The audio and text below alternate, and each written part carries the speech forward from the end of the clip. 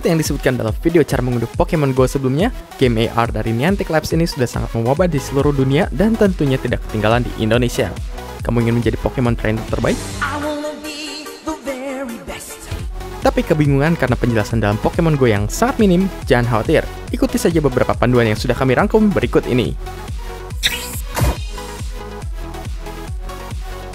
Menangkap Pokemon sebenarnya adalah hal yang cukup mudah, Tap Pokemon pilihanmu dan nantinya kamu akan diajak masuk dalam sebuah minigame melempar Pokeball yang cukup sederhana. Cukup swipe layar dan kamu sudah melempar Pokeball milikmu. Kamu juga bisa melihat bahwa ada indikator lingkaran yang muncul di hadapanmu begitu kamu meletakkan jari di atas layar.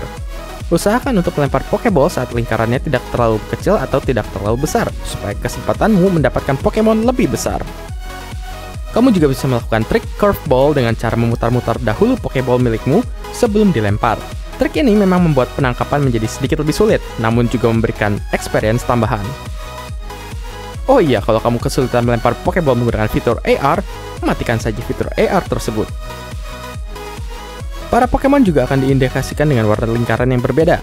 Hijau artinya mudah ditangkap, kuning artinya bisa lolos dari jeratan Pokeball, dan merah artinya kamu harus siap kehilangan Pokeball milikmu. Untuk menangkap Pokemon yang lebih kuat, kamu disarankan menggunakan Pokeball yang juga lebih kuat dan menggunakan item tertentu. Oke, kamu baru saja masuk permainan. Kamu ingin Pikachu sebagai Pokemon starter? Caranya cukup mudah. Kamu hanya perlu meninggalkan tiga Pokemon pilihan yang ada di awal permainan dan berjalan sekitar 100 hingga 200 meter dari lokasi permainan pertamamu. Setelah itu, Pikachu akan muncul dan kamu bisa menangkapnya. Jika kamu memiliki terlalu banyak Pokemon di dalam tasmu yang terbatas, jangan ragu untuk mentransfernya. Kamu bisa melakukannya dengan mengklik tombol transfer di bagian bawah profil Pokemon milikmu. Dengan mentransfer Pokemon, kamu bisa mendapatkan candy yang berfungsi untuk meningkatkan level monster yang sejenis. Pokemon Go termasuk aplikasi yang boros baterai. Untungnya ada cara untuk menghemat baterai smartphone milikmu, yaitu dengan menggunakan fitur offline maps melalui Google Maps. Ini dikarenakan Pokemon Go menggunakan API dari Google Maps. Begini caranya. Pastikan kamu sudah mengunduh Google Maps. Kemudian pergi ke menu pengaturan. Pilih fitur offline maps dan tentukan lokasi peta yang ingin kamu unduh. Dan itu saja, perangkatmu tidak akan seboros sebelumnya. Ada dua macam tipe bangunan yang akan kamu temui dalam Pokemon Go, yaitu Pokestop dan Pokemon Gym. Pokestop adalah semacam checkpoint di mana kamu bisa mendapatkan berbagai item menarik seperti Pokeball, telur Pokemon, potion, dan lainnya. Pokestop bisa disulap menjadi sebuah lokasi perburuan Pokemon dengan mengaktifkan item lure module. Jika ada bunga sakura bertebaran di sebuah Pokestop, maka itu tandanya ada trainer lain yang sedang menggunakan lure module dan kamu bisa ikut berburu di sana. Pokemon Gym merupakan semacam outpost bagi trainer untuk mengadu Pokemon. Gym tersebut bisa ditingkatkan dengan melakukan pertarungan antar satu tim untuk meraih experience. Atau, kamu juga bisa mencoba bertarung mengambil alih gym lawan dan juga mendapatkan Pokecoins.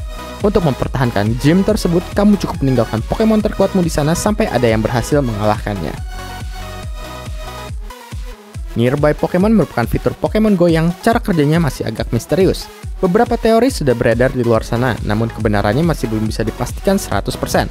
Menurut kami, nearby Pokemon berfungsi sebagai indikator acak untuk melihat monster apa saja yang ada di dekat pemain. Semakin sedikit jejak kaki yang terlihat, maka Pokemon tersebut semakin dekat. Tapi mungkin lebih baik kita tunggu saja penjelasan resmi dari Niantic. Saat ini, duel antar trainer hanya bisa dilakukan di Pokemon Gym saja, dan disarankan menggunakan internet yang cukup kuat demi menghindari bug yang tidak diinginkan. Pertarungan akan terjadi secara real-time, tidak seperti game Pokemon pada biasanya. Serangan bisa kamu lancarkan dengan dua cara, yaitu tap biasa untuk melakukan serangan pertama, dan tahan jarimu di layar untuk melakukan serangan kedua. Pokemon juga bisa bergerak dan menghindar dengan melakukan swipe ke kiri atau ke kanan. Ini juga menjadi teknik supaya kamu bisa memenangkan pertarungan dengan lebih mudah. Namun patut diingat bahwa ada hal lain seperti koneksi internet atau elemen sang Pokemon yang bisa saja membuat permainan menjadi berubah drastis. Combat Points atau CP adalah akumulasi atribut monster Pokemon yang kamu punya. Singkatnya, CP adalah power level dari Pokemon milikmu. Untuk meningkatkannya, kamu perlu Stardust dan Pokemon Candy. Level trainer juga akan mempengaruhi tingginya angka CP sang Pokemon. Tentunya tidak hanya CP saja yang akan menentukan hasil pertarungan, elemen dari Pokemon milikmu juga akan menjadi penentu siapa yang akan menang.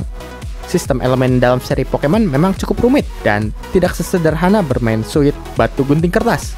Rasanya untuk menjelaskan seluruh hubungan antar elemen mungkin tidak cukup dalam satu video ini saja. Oleh karena itu, sebagai penutup juga, kamu bisa cek artikel panduan bermain Pokemon Go lengkap dari Tech in Asia. Link ke artikel ada di deskripsi video. Jika kamu punya tips lainnya, jangan segan untuk menyampaikannya lewat kolom komentar.